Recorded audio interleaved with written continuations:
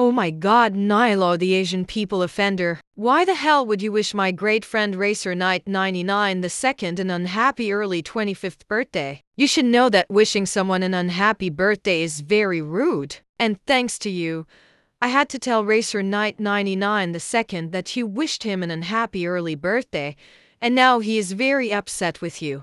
And so am I. And as for this, you're going to say sorry to Racer Knight 99 the second for wishing him an unhappy early birthday. Oh, and one more thing.